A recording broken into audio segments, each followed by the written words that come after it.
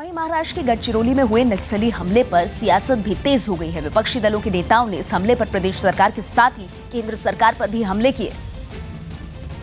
और प्रदेश के मुख्यमंत्री देवेंद्र फडणवीस से इस्तीफा देने की मांग कर दी। उनको सीएम की कुर्सी भी चाहिए और होम मिनिस्ट्री भी चाहिए। इसीलिए इतने लोगों की जान जा रही है तो इसीलिए उन्होंने इस्तीफा देना ही चाहिए। एनसीपी नेता मजीद मेमन ने नक्सलियों के इस हमले के लिए राज्य के साथ ही केंद्र सरकार को भी जिम्मेदार ठहराया। Fadnavis and his Home Minister, Rajnath and Pradhan Mantri are all responsible for this kind of a terror attack. हालाँकि विपक्ष के हमले का जवाब देने सामने आए बीजेपी नेताओं ने इन आरोपों को लोकसभा चुनाव में हार की खींच करार दे दिया। पूरा सिस्टम उनके पास है जो एक कदम हमसे आगे जा रहे हैं। लेकिन जब भी पकड़ में आ जाएँगे मुझे मुझे विश्वास है ये सरकार उनको छोड़ेगी नहीं।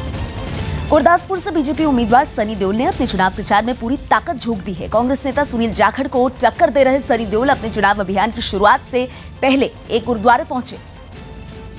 और वहाँ अपने राजनीतिक सफ़र की कामयाबी के लिए प्रार्थना की। इस दौरान उनके साथ कई बीजेपी नेता भी मौजूद रहे।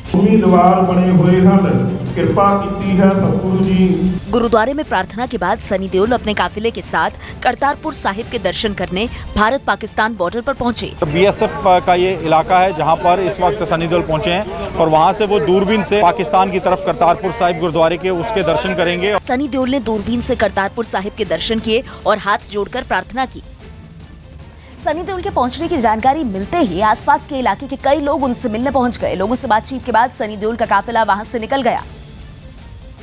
और सीधे इलाके के ही एक प्राचीन शिव मंदिर पहुंचा जहां पहले से ही लोगों की भीड़ सनी देओल के इंतजार में जुटी थी सनी देओल देखिए इस वक्त लोगों से मिल रहे हैं और काफी उत्साह है यहाँ पर लोग उनसे मिलने के लिए काफी भीड़ यहाँ पर इकट्ठी हुई है मंदिर में दर्शन के बाद सनी देओल एक स्कूल में भी गए और वहां बच्चों से मुलाकात की इस दौरान सनी देओल ने पंजाब के लोगों के लिए काम करने का दावा किया ਮੈਂ ਜਨਤਾ ਦਾ ਬੰਦਾ ਹਾਂ ਉਹਨਾਂ ਦਾ ਦਿਲ ਕਦੀ ਨਹੀਂ ਦਿਖਾਊਂਗਾ ਉਹਨਾਂ ਦੀਆਂ ਜ਼ਰੂਰਤਾਂ ਜ਼ਰੂਰ ਪੂਰੀ ਕਰਾਂਗਾ लेकिन सनी देओल के गुरदासपुर से चुनाव अभियान की शुरुआत करते ही कांग्रेस ने उन पर निशाना साधा। कांग्रेस नेता और गुरदासपुर से उम्मीदवार सुनील जाखड़ ने उन्हें इलाके के मुद्दों पर चर्चा की चुनौती दे दी।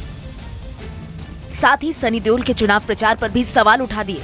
आज भी लोग इंतज़ार कर रहे हैं कि जब से आए हैं उन्होंने सिवाय फिल्मी डायलॉग के और अपने दर्शन दीदार दिलाने के अलावा कुछ भी नहीं किया। कांग्रेस के हमले का जवाब देते हुए सनी देओल ने युवाओं और किसानों के लिए काम करने का दावा किया। मैं यहाँ काम करने आया हूँ राइट और मेरा सबसे बड़ा मुद्दा है youth and the farmers Punjab के अलग अलग हिस्से से लोग सनी देओल के समर्थन में गुरदासपुर पहुँचे और उनके रोड शो में शामिल हुए।